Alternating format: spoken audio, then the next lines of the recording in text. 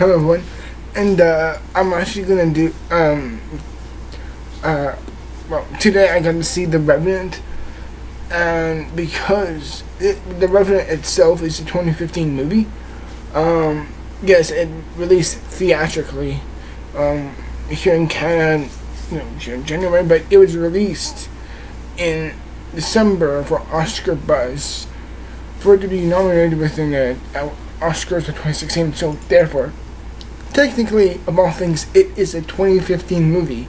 So with that, in, so that with that in mind, um, I'm actually going to be remaking my top 10 favorite movies of the year list. And um, I'm sorry for doing that. It's just a really weird thing. But aside from that, um, so yeah, I'm gonna. Uh, this is not a list. This is this is just my review of the Revenant. But just to let you know, I'm gonna make another video, which is gonna be um, a remake of my top ten favorite movies of the year because this still technically counts. And uh, I'll just get into this video by starting off uh, because The Revenant is in my top ten. Um, because this movie is thrilling as fuck. It really is. It's a tense, insanely, gritty, grimy, dirty movie that really puts you in an uncomfortable mood and really just really makes you feel awful for Leonardo DiCaprio's character. And um, The Revenant is directed by Ali, uh, Ariano Gunenzis, uh, I forgot his name, who directed um, uh, 2014's Birdman, which I am one of the very few people who didn't, has not seen that movie. Um, for the record, I don't know, I haven't seen that movie. I've only seen little snippets here and there, but yada yada. Um, just this being the first movie of his that I've seen, this is a, in my opinion, a friggin' extraordinary movie. And it really is, a, like I said before, it's a very dirty, grimy, realistic movie. And 100% of this movie is shot real. It's 100% outsiders. There's real dirt, real blood. Okay, not real blood, I know for sure. Um, but it's all based in, um, in, it's all shot in outside. And it's based off this story by uh, a survivor and um, this character played by Leonardo DiCaprio, essentially is like the post Civil War era, and it doesn't just it doesn't really discreetly say where it is. Um, but it's shot. The movie itself is shot in my beautiful hometown of British Columbia, Canada, and uh, it's just this is just this is seriously one of the best looking movies I've ever seen. It's visually stunning and that's the biggest praise I can give this film as a whole. The, the visuals, the way it's shot, the cinematography, and the directing is just pitch perfect. It's really amazing. This and Macbeth are probably the two most well directed, and well, this Macbeth, uh, The Martian, and Ex Machina are probably the most well directed movies of 2015, in my opinion. Um, and this, just the, the way it's shot is someone like me who's an aspiring photographer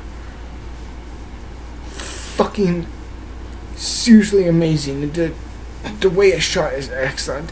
And all the performances are just great uh, Leonardo DiCaprio this just very much may be the performance that gets him the goddamn Oscar he really does deserve it he really has a lot of 100% type of mood and power and passion of taking vengeance from Tom Hardy because um, it's not really a big spoiler because this is a part of the story as a whole. But like at some point in the movie, like he's in the war, in, in the post Civil War era, with Tom Hardy and his squadron, and he has, um, he gets dragged by an inc- by a by an incident, not really an incident, but it's like they were um, Leonardo DiCaprio's character and the son were hunting and kind of gets he gets dragged back into his position in his in his army unit with, with the squadron really. Um and it's like at some point during the movie um Tom like uh, because like you know Leonardo DiCaprio's character gets mauled by a bear essentially and I gotta say that scene with the bear is the most still I've ever been in a it's like uh, the most shocking thing I've seen just a 20 feet it's one of the most shocking moments I've ever seen in any film ever. The the seeing the CG there is beyond me I, I'm like how the fuck do you do that? And I'm not. And I'm, this isn't criti- This isn't negative, but it's like there's a part. There's parts of that where I can tell like the bear. Like I do know in essence the bear is CG, but it's incredible the way it's done. Like just as he, he tears them apart like all that, and then gnaws them and throws them around. I'm like, how the hell you do this? It's insane, and it's all done in one or two shots. Like it has an Alejandro Granado um, feel to it of that long shot feel. And it's all done in like two or three shots, long shots, and there's the, that's through the movie. It's, it isn't like Birdman where it's like two to three extremely long cuts like that, but this is like like a good 20, 30, 40 um, movie, movie cuts. It's not like the typical movie, Hollywood movie where it's like cut here, there, there, there, there, there. This is like take one moment of this and draw upon it and keep the camera moving constantly for the whole time. And the way they did that with the bear, a CG creature in this animal that is actually physically torn apart, or however the hell you did it with Leonardo DiCaprio, I was really blown away by that. And um, yeah, that that scene is friggin' amazing. Leonardo DiCaprio is amazing, and so is Tom Hardy in this movie. And um, this, movie just really blew my socks off. And this movie yes, this movie is not for the pussies. it's not. I don't mean that in a demeaning or uh, negative or sexist way. I mean like this is a movie for men. This is a rough. I said before, a very dirty realism type of movie that packs a really powerful punch. Like um, when I saw this movie, well, when I saw it today, um, the scene where they find Tom Hardy's character, like attacking the bear, and the bears lying on top of him. Like he, they, Leonardo DiCaprio was just able to kill it before it really killed him. They're falling down somewhere, and it's like the bear lands on top of him, and the only thing they can see is his head coming from underneath the dead bear. And I'm like, oh my god! And like the, his teammates come over and take off the bear off of him, and they won't Leonardo DiCaprio over because you see all the marks on them, and the whole theater was like, oh, oh, me, oh my god. We're like, that's the impact of this film. It's like so engrossing, and I've never seen a whole theater get this thrilled by. And because when this movie started, there was goddamn cheering in my theater, mainly because I live in British Columbia, and that the uh, the Native American. I'm not kidding here. This is a real. This is real. Like you can you can think this is fake all you want, but this is real. Like my experience of this was real. That because I live here in British Columbia, um, where this movie was shot, and the actor of the Native American that Leonardo DiCaprio meets was in the theater. He was in the theater, uh, and I got to meet him, and it was so cool. And just yeah, it's amazing. And I got to see a bunch of Native Canadians in my theater cheering this movie on. Like when the movie began, there was goddamn cheering, and the moment his character was introduced, there was cheering, and everyone was really shocked when you got to see his character kind of go his way or end. Is, I'm not gonna spoil. Um, and when the movie ended, there was still goddamn cheering. There was such a passion and a spirit and a real liveliness. It wasn't like a movie. This is a nonsense Star Wars. This was a goddamn experience. And it was mind blowing to see this real enthrallment of how passionate people can get this truly happy about the movie, even if even if one of the actors is in physical contact with you. It's like I get to meet one of the actors who was in this movie. I'm, I'm not kidding there. I'm really not kidding. I'm just blown away by that. I'm I come back to the movie. The movie is. This is not a drawback, but this is like. Um, the movie is wrong. However, I didn't. There was a couple moments where I felt like okay, I was a bit bored of a couple of scenes here and there, but when it ended, I'm like, like it kind of felt seamless because you know it's the end. But I'm like, as a whole, I'm like, I don't mind buying that and rewatching again and again and again because I was just so engaged. And yes, it was long, but just like with Macbeth, it, it kind of did have the pro- same problem, I do admit, it was a bit slow and pacing weird. Pacing and the pacing was weird and, and lengthy like that. Uh, the slow moments are still really enjoyable, and unlike Ex Machina, or of Spies, in my opinion, where those slow moments really, really did feel slow and they didn't add a thing to the movie, and I just wasn't that great. Where this movie was so engaging, and the slow moments were really great. It added atmosphere and tone, and a moment to react, and a moment to have a reaction from what just happened, or just a moment, of breather a, a real moment of breathing within the movie. It's like it's not hundred percent like every movie ever constructed. Really, it's like there's moments of like a film where it just lets you breathe. It breathes well, and there's a lot of really calm moments. And even though this movie is very tense, it balances out, but not in the. Uh, but not in a way where it disrespects disrespects the audience. It does it in a way what it should do is like it gives you really intense moments, but it doesn't really like okay they show the reactions to it. It's not like that. It's like they cut away to something else, but it's not as exciting. So therefore, you kind of do find that breather in that moment, and then.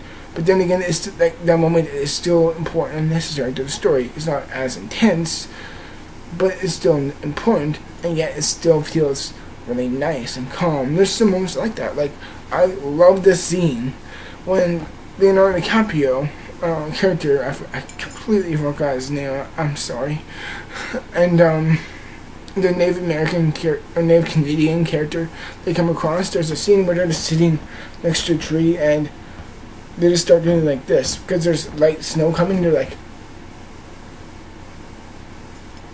and it was just a funny moment and it helps balance it all out. It, it didn't take itself completely seriously, even though it definitely did. And I can say that without.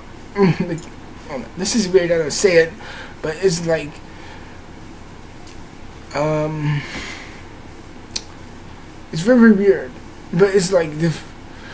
It's like a.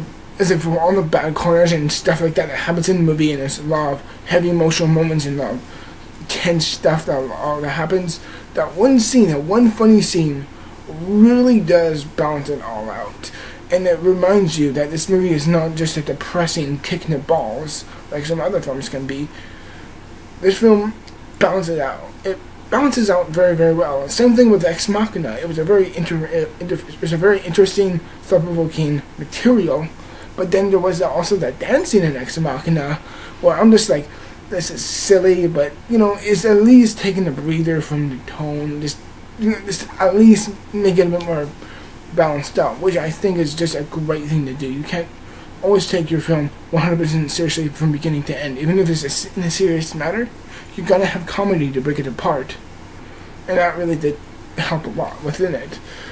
And um, yeah, this the choreography, the action itself it, it just like before, like I said with the long take directing, uh, it's done very very seamlessly, and it feels not too stupidly choreographed or anything like that. It, it feels like a real gritty U- UFC fight, uh, like a real bar like a bare knuckle brawl with each other, and it just felt really, really, really like intense, and you really felt righteous when Leonardo DiCaprio gets re- his revenge on Tom Hardy, which leads to a great, great climax in a very, very suspenseful one, where it also has Domhnall Gleeson as like this big sheriff. I wouldn't say he's a sheriff, but he's like a head of attorney character, who they who Leonardo DiCaprio teams up with him in like the last act of the film, and to take down Tom Hardy's character because he essentially went kind of rogue. He's like, um, it's just this movie, I could talk about it for a, long time, in my opinion. And I just love this film. I thought it was excellent as a whole, and yeah, I, I, my only real problem with it is that it was very, very long, and um, there's a couple moments where I did feel a bit too bored, but it's uh, not too bored, but I would say there's some moments where it was boring, but it was for the sake of taking that breather. But then it's like it's like you know what? It's like I did kind of find those things a little bit boring, but whatever is a ten- technical marvel, and the fact that this is this is getting an eighty percent on Tomatoes is bullcrap. It should be higher, man. It should be goddamn higher. This movie is. I wouldn't really say it's a masterpiece, but I would say it's a damn freaking great, technically well made film that I really loved from beginning to ending. Yes, it is long, and yes, it beats you down hard at times. But in the end, it's just with a greater sense of the plot and story, which I can't really blame the film for that. and in the end, um, yeah, that's just my opinions on the Revenant. And yeah, this movie is freaking awesome. That's all I can say about it. It's just a thrilling, really, really, it's a thrilling, exhausting, and intense movie. But it's also beautiful, beautifully crafted, with gorgeous cinematography, cinematography, uh, brilliant acting by everyone. Uh, seriously, every, everyone. Everyone in this movie was freaking great. Even though Will Poulter was a bit weird, because he. weird. I must be whatever. It's like everyone in the main cast, the side characters, they're all fantastic. And in this end, this is definitely one of my favorites of 2015. So yeah, that's my review of the movie. Um, again, I vote my the things I don't like, but I don't like about this movie are like so minute. It it really doesn't really matter because I'm not I'm not gonna give this movie a, per, a perfect score, but I'm gonna give it I'm gonna give it a a 91 percent. That's my rating, everyone.